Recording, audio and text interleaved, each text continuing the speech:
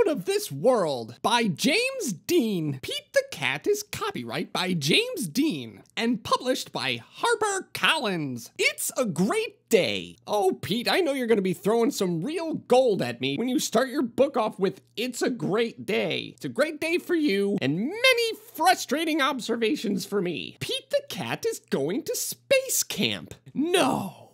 He's going to karate camp. Whenever I go to space camp, I also bring my guitar and hot dog on wheels. I know what this really is, Mom. This is just an excuse for you to get a week off from him. Pete meets his bunkmate, Glenn. Glenn, the cat. Good name. As they unpack, there is an announcement. Welcome, space campers. Please head to the classroom. Your mission begins now. Classroom? Is there is there classrooms in camp? It was a trick. It's summer school! Pete is ticked. Time to suit up, says Pete. He and Glenn put on their uniforms and race to class. You guys are gonna be doing a lot of laundry because they only gave you one uniform and Glenn is merging into the wall. There are so many cool things to do and super neat stuff to see, like this funnel and this monstrosity. And you know, the entire unexplored vastness of the universe. The astronauts talk about the trips they've taken, like to the local Walmart. There's Chris and Frank.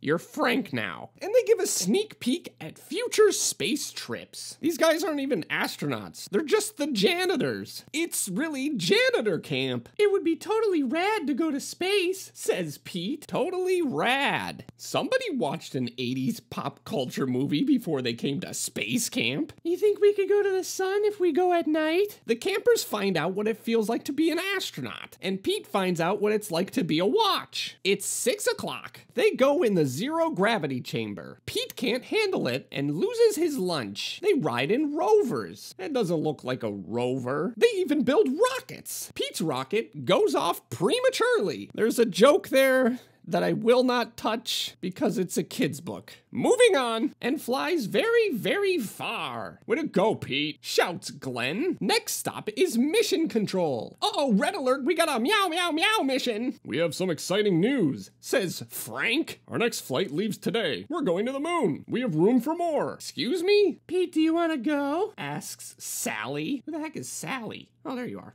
That would be awesome, says Pete. I don't think that's what you do in space camp. You don't actually go to space. They're a bunch of three year olds. You need like years of training. You can't just put a cat in a zero gravity machine and be like, okay, you're ready to go. Hop on in, you're going to the moon. It's leaving in 10 minutes and five seconds. It's time to buckle up and settle into the space capsule. That's really happening. They're actually going into space. Five, four, three, two, one. Lift off.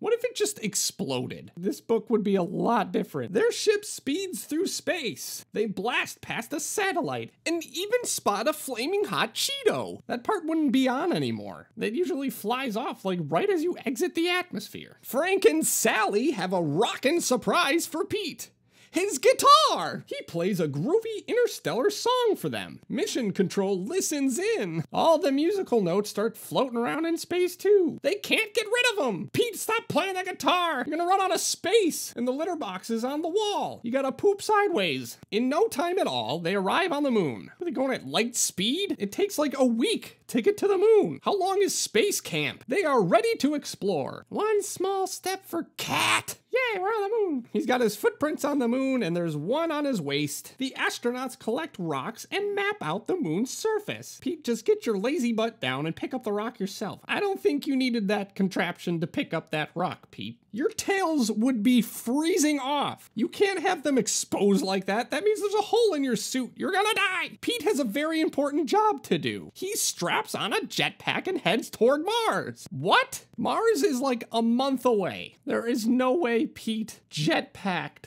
to Mars. There's Mars right there. It's just the pepperoni. He takes a ton of pictures with his bazooka. Oh no! Oh no! Pete lost track of time and the moon is far, far away. The quality of the moon has depleted. It's now just two pencil lines. He has to make it back to the ship before it blasts off. They wouldn't just leave him behind.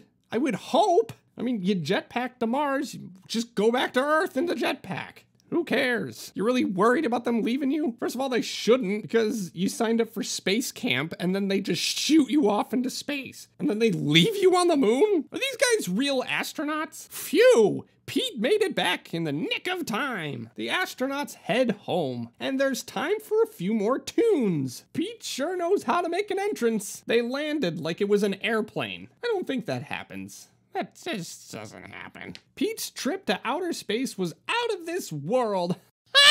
oh, Pete.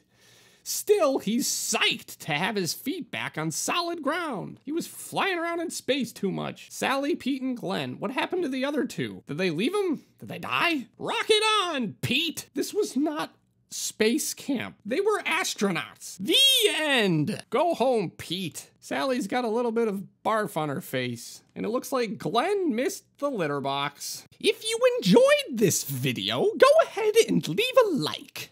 In other words, hit the thumbs up. That's the like. And if you want to see more of our videos, go ahead and subscribe. And don't forget to hit the bell. It'll tell you when more of our videos come out. Thank you for watching, and we'll see you in the next reading.